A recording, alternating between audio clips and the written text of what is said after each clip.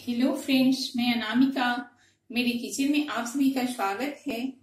आज मैं एक फ्राइड राइस की रेसिपी लेकर आई हूँ। इसे बनाना बहुत ही आसान है और खाने में बहुत ही सुंदर और टेस्टी लगता है। तो फ्रेंड्स, अगर आज की मेरी ये रेसिपी आपको पसंद आए तो मेरे चैनल को लाइक कीजिए, सब्सक्राइब कीजिए, शेयर कीजिए और कमेंट करना मत भूलिए। तो चलिए हम बनाना शुरू करते हैं। सबसे पहले हम गैस पे एक फ्राई पैन लेंगे और गैस को ऑन कर लेंगे। पैन को हम अच्छे से गर्म होने देंगे और उसमें हम दो चम्मच तेल डालेंगे। और तेल को हम अच्छे से फैला लेंगे। तेल गरम हो चुका है, अब हम इसमें एक को तोड़ेंगे। तो हम इसे एक को तोड़ लेंगे। तो इसे हम एक को तोड़ लेंगे।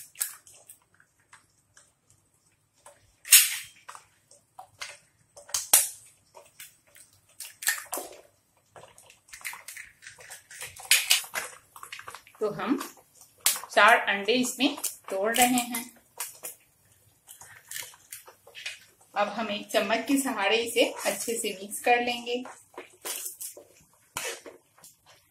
तो हमें ज़्यादा भुड़की के जैसे नहीं चलाना है।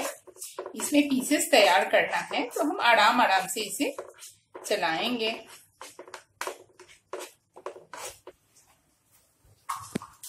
अंडे को हमने मिक्स कर लिया है। अब थोड़ा सा नमक डालेंगे और थोड़ा सा ब्लैक पेपर डालेंगे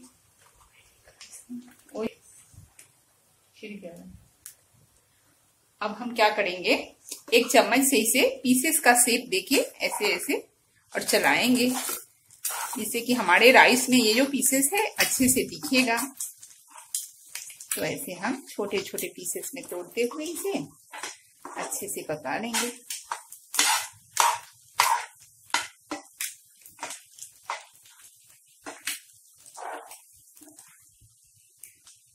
अपना अंडा जो है, देखिए, फ्राई हो चुका है। इसके अच्छे अच्छे पीसेस बने हैं, यानी कि मोटे मोटे। अब हमें गैस को बंद कर देना है और इसे हम एक प्लेट में निकाल लेंगे। तो हम अंडे को एक प्लेट में निकाल लेंगे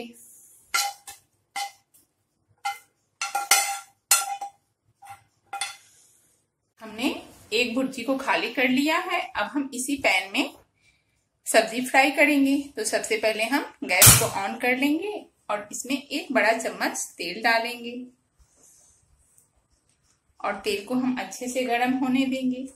जब तक तेल गर्म हो रहा है, तब तक हम आपको सब्ज़ी बता दे रहे हैं। तो सब्ज़ी में हमने cabbage, beans, carrot, green chilli spring onion का ग्रीन पार्ट, कैप्सिकम, ओनियन को हमने बारीक काट लिया है।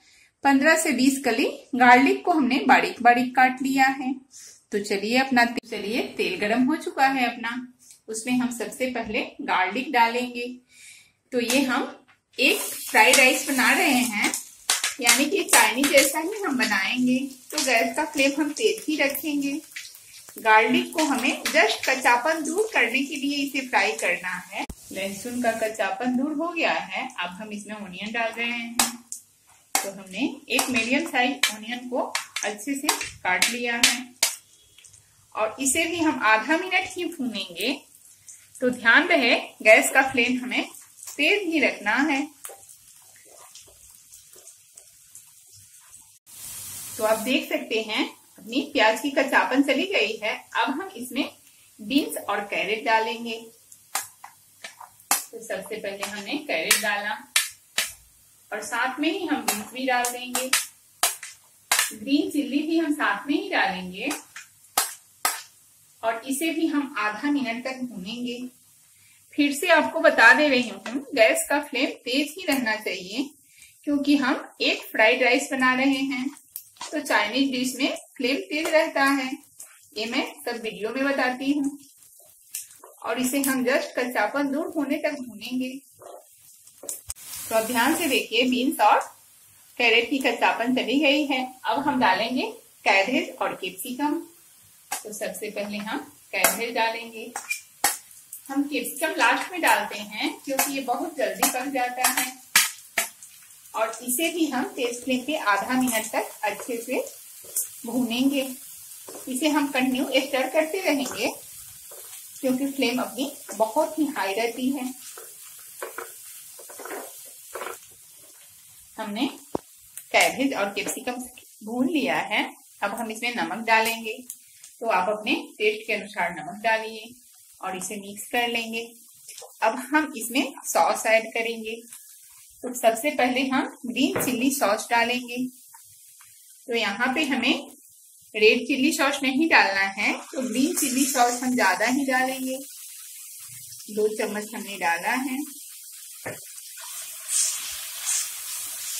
और अब हम व्हाइट विनेगर डालेंगे। तो हम दो चम्मच व्हाइट विनेगर डालेंगे। और अच्छे से हम मिक्स कर लेंगे।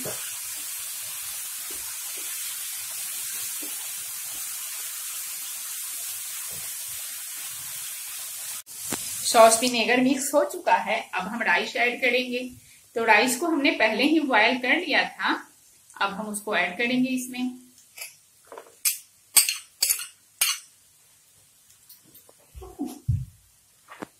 अब हम राइस को अच्छे से मिक्स कर लेंगे। तो कभी भी हम चाइनीज़ फ्राई के लिए जब राइस तैयार करते हैं तो उसे 90 परसेंट ही कुक करते हैं। आप देख सकते हैं, बिल्कुल खिला खिला अपना चावल है। एक एक दाना अलग अलग दिख रहा है।